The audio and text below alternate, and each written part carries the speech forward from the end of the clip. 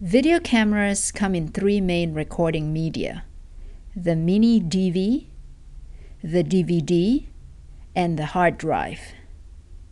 You will get the best video quality with the mini DV.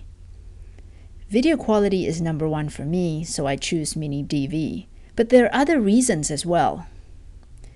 Mini DV camcorders cost less, the tapes cost less, about three to five dollars, as opposed to the read write DVDs, which cost eight to twelve dollars.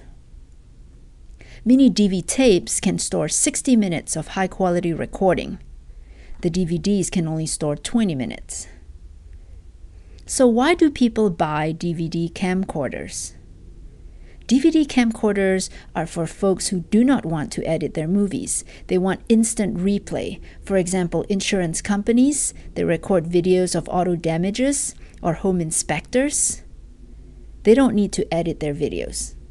But you are going to be an amazing movie editor. So you're going to record your videos in the best quality available, which is the mini DV. Hard drive camcorders are tapeless, which is really convenient. Number one, you'll never run out of tape.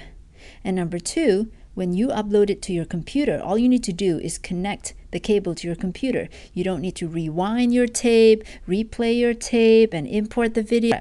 When hard drive camcorders came out, I was really drawn to it for the convenience. But the hard drive camcorders today record in MPEG 2 format. Now, MPEG 2 is a lossy format. It's a poorer quality compared to the AVI format. And did I say video quality is number one for me? So I'm going to wait a little bit. But when hard drive camcorders comes out, in AVI format, which is the same format that mini DV tapes record in. I think I'm going to get one. That is why today I choose the mini DV camcorder.